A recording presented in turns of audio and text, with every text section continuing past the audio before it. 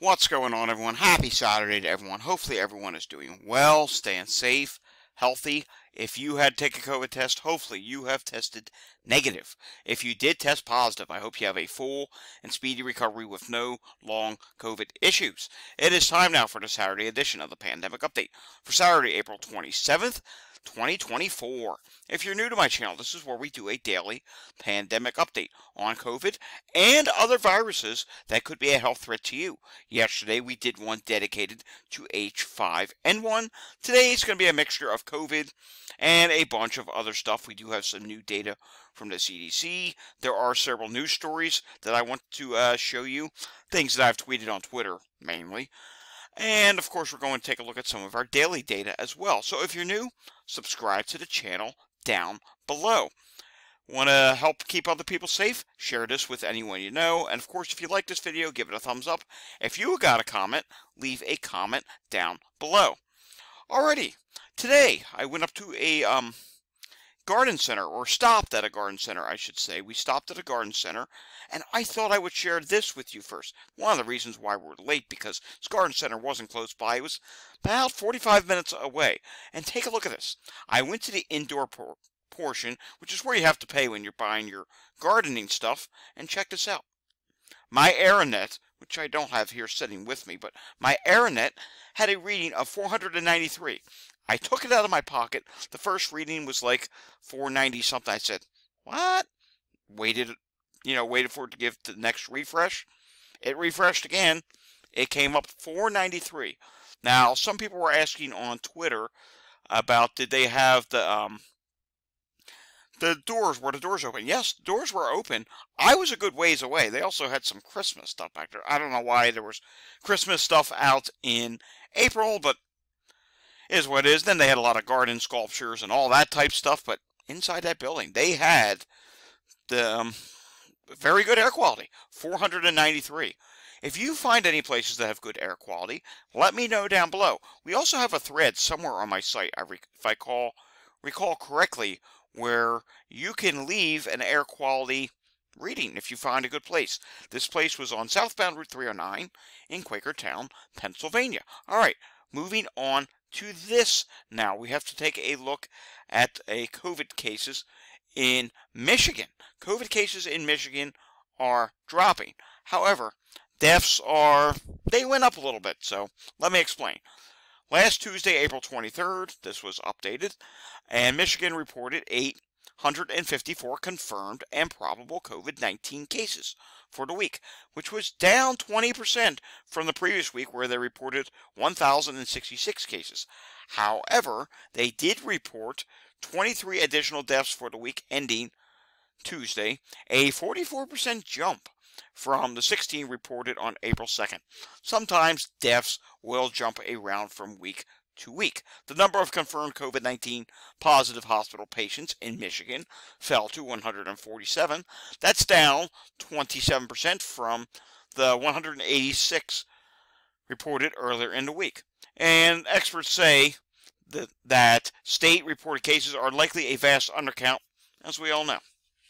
These at home tests right here, they don't get included in very many states. So continuing on now, I did take a poll yesterday. Easy poll question. Do you still believe we are in a pandemic? And I posted it rather late last night.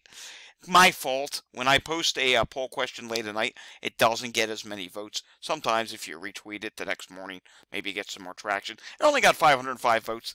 That's okay. I saw what I wanted to see, and you can see here it's still updating. It's 506 votes now. 95.8% say yes. Only 4.2% say no. One person says, I wish we weren't. Bleep. And now we're probably in at least two. I think they're referring to H5N1. I won't call it a pandemic yet. It may be among animals. It's not for humans yet, but who knows what's going to happen. And there's a couple other comments here. All right, several things I wanted to show you via Twitter or things that I tweeted. Let's just go to uh, my Twitter profile. This is the easiest way to do it. So Jay Weiland, you've heard me mention his account before. He had a new forecast model update yesterday. And take a look at this. It's not as harsh as the previous update. We can actually click on the previous update. Here was the previous update that said, eh, it's going to start rising a little bit. Now, backtracking, here's the new update. It's not going to rise as much. And that's a very good thing. And there's been some people that have been saying some of these new sublineages of offshoots of JN.1 or new COVID sublineages would not lead to as big of a rise. That is a good thing. We'll take a look at that new CDC data shortly. Colorado reports its first outbreak of H5N1 bird flu at a dairy farm, raising the U.S. total to 34. Apologies for the background noise. Neighbors' dogs around, and nothing you can do about that. But there's a lot more stuff here.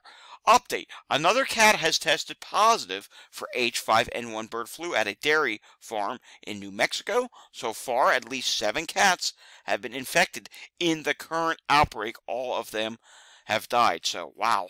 Seven cats tested positive. All of them died. That's 100%. Ooh, that's that's wow. That's not good. Wisconsin Department of Health confirms a case of measles in Dane County. And in West Virginia, remember we talked about how there was a measles case? Well, now they say more than 125 people in 30 West Virginia counties exposed to measles. So that is concerning, and hopefully it does not lead to more cases. And I'm pretty sure there was something else that I wanted to share on here. Ah, yes. Mich- Michigan, no, not Michigan. I believe it was Indiana. Here it is. Indiana, we did Michigan already. Indiana dashboard adds 31 COVID deaths and 983 more cases of coronavirus. So uh, there you go. That's over 50 deaths in just two states. And as you know, these are not necessarily bigger. I mean, they're decent sized states, but we have many states which are much bigger. So there you go. Yes, COVID deaths are still happening. Long COVID is still happening, and COVID is indeed still a pandemic. Alrighty, that's all I have for you today via news and Twitter. Taking a look at the allergy map nationally, you can see there's still high levels of allergies in the Northeast, and that's going to continue. It's actually probably going to increase in the East because not really expecting much in the way of rain, say, south of the Pennsylvania Turnpike down into the mid-Atlantic region over the next several days. North there, you will find some showers up in New England. That may help you a little bit, but Monday, Tuesday, Wednesday, 80s, maybe even some 90s are coming to the Northeast. Couple that with dry conditions, perfect weather for pollen to really increase. And speaking of weather, I think I have it up here. Yes, I want to show this to you. Not that in particular.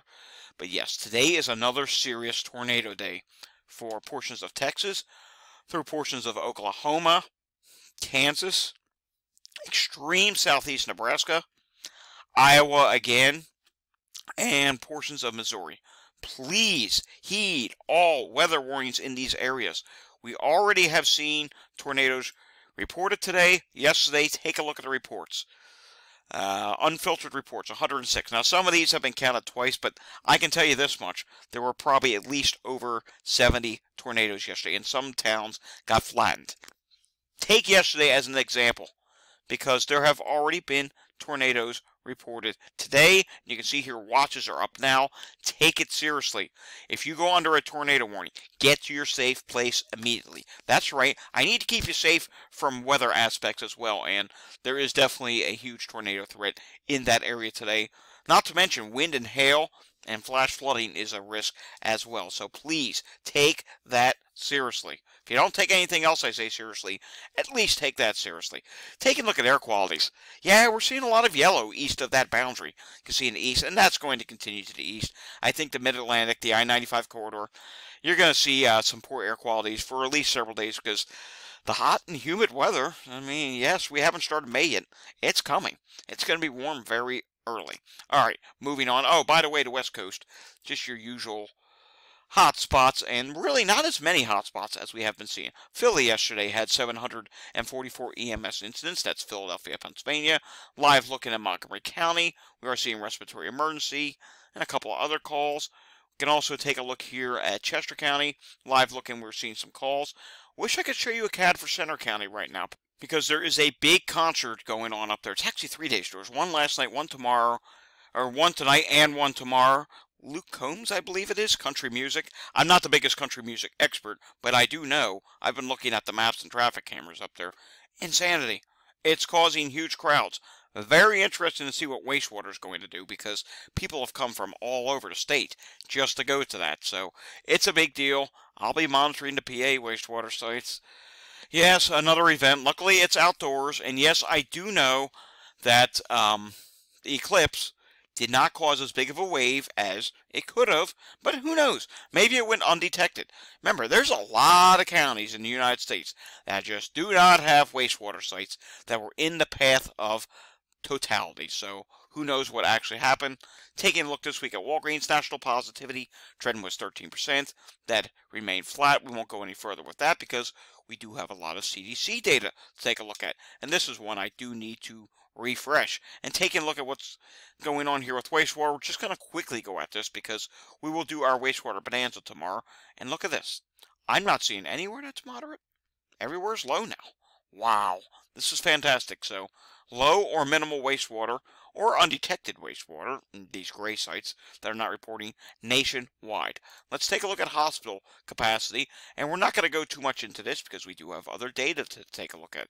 United States, 75.3% of all patient beds are being used. COVID-19, 0.8% of that. Influenza, 0.4%.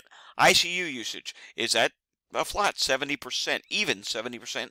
0.8% of that is for COVID 19, and 0.5% is for influenza. Again, we're not going to go on to any other states today because we got quite a bit of data to take a look at. Take a look at this. Back in April 27th of 2022, it is estimated that during 2000-2018 measles vaccines prevented 23.2 million deaths, but delays in routine vaccinations caused by the COVID-19 pandemic in Ukraine, Ethiopia, and Somalia, and Afghanistan had led to a nearly 80% worldwide rise in measles in 2022. Fast forward to today, and hey, we're still seeing measles cases on the increase in the United States, or they're still occurring. And who knows, it could lead to more cases, especially with all these exposures going around. All right, hospital admissions in the past week. This is some great news. Though I do understand not every hospital is testing for COVID, but hey, it's dropping. COVID 19 hospital admissions the past week 5,615. That's down 14.4%. And you can see here we're back to one of these CDC specials where they just paint green all over the place. Yes, there's a few uh, orange counties. White Pine, Nevada is orange at this time, and there's a few others sprinkled in between. Moving on, the national positivity rate. I know this index doesn't really mean that much. It's 3%, it's down by 0.4%. You can look at epidemic status now for COVID, and you can see here it is growing now once again in Wisconsin, but that's the only state that it's growing. Everywhere else is stable, uncertain, likely declining, or declining. Then we come down here to influenza, and I do want to bring something to your attention. It's declining in most states, and it's likely to decline in many states, but we also have some stable or uncertain states. And interestingly enough, one of those is Texas, where, as you know, there is a wastewater site or two. I know of at least one where uh, influenza A at this time is rising. So that's something interesting that we'll have to keep an eye on going forward. All right, drum roll please. Time now for this week's COVID variant update. And I gotta say, it really has changed from the last update. Remember when JN.1 was in the lead? No longer the case. A KP.2, which is a sublineage of COVID. I don't know if that's offshoot of JN.1. Someone let me know down below. Someone put in the comments. I'm I'm terrible at those things, uh, figuring where it actually originated from. I'm better if I just read this off to you. So KP.2, which did not exist on the last update, is now at 24.9%. JN.1 is now at 22%. JN1.7 is at 13.7%. JN 1.13.1 is at 8.8%. KP 1.1 is at 7.5%. JN 1.16 is at 6.9%. JN 1.8.1 is at 5.3%. KQ.1, I believe that's another new one, is at 3.6%. JN 1.11.1 is at 3.4%. And JN 1.18 is at 2.5%. Thus, why all these different percents is why JN.1 had such a huge drop, and of course, KP.2 had a huge grand entrance. It's one of the biggest entrances to a variant that we have seen in some time, but as you know, take a look at this. We can go back several updates here. CDC uh, just decided to add it in, even though it's been rising for apparently multiple weeks. And as you know, this only updates every other week. And I do say this all these different regions. I think only one of them updated, so this data may not even be all that reliable. All right, drum roll please. I have to update this week's flu update. Take a look at that. It has dropped. And North Dakota is at moderate flu levels, low in Nebraska, and everywhere else is low or minimal. A lot of green showing up here. That's a good thing. Again, we'll have to keep an eye on Texas down the line with what's going on with H5N1. Who knows? It's it's something that we have to, we're going to be keeping an eye on probably right into the start of summer. It's going to be something that's on the radar because even the WHO is concerned about it at this time. Right now, it's mostly it's mainly animals. We haven't heard of any more human cases yet. Let's hope it stays that way in the United States. Hospitalizations. So let's hope it stays that way all around the world. But we'll have to see what happens. Hospitalizations for COVID in New Jersey. 191 today. Six people on a ventilator. 34 people have been discharged in the ICU. 24 at this time. New York State, 456 new cases. And hospitalizations, they're not moving that much right now. Yes, overall they're still dropping, but that has slowed significantly. But hey, a drop is a drop. 449 people in the hospital in New York State, 45 people in the ICU. Taking a look at what's going on in Los Angeles, California, we can see here hospitalizations have dropped. Deaths have really dropped now. This is really good to see. Let me refresh this because that is still saying 4-2. Okay, that's the most recent update, I guess. The cases here, eh, they've gone up ever so slightly, and the testing positivity rate has gone up ever so slightly as well. Wastewater, just a slight rise. Emergency department visits continues to drop slightly. California, we can see here COVID 19 hospital admissions, they're down by 14.3%, 679. That's down by 113. That's really good. COVID deaths, they are down as well. The positivity rate went up by 0.4% to 2.4% for COVID. Influenza positivity rate up slightly, deaths up uh, ever 0.1%, and hospital admissions, they're down. It's uh, 150. Alrighty, folks. That does it for today's pandemic update. We will have another one tomorrow where we will do strictly wastewater. There may be a news story or two added in, but for the most part, tomorrow is going to be wastewater. Uh, I will try and do some research in advance of some places where influenza may be on the rise, and I'll make sure I have a note for myself to add where that is tomorrow. And that's it. I will see you all again next time. But until then, got to do a few things.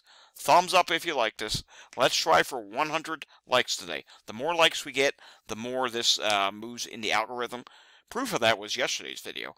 And if you're new to the channel, subscribe down below. Maybe you liked what you saw. Maybe you want to see this daily or just become a subscriber. Which is great because it keeps you safe and informed. And if you have anything to say on anything you saw today or you just want to say something, comment down below. And of course, most importantly, stay safe, everyone. I will see you all again tomorrow. Thanks for watching. Enjoy your Saturday evening. Have a great night.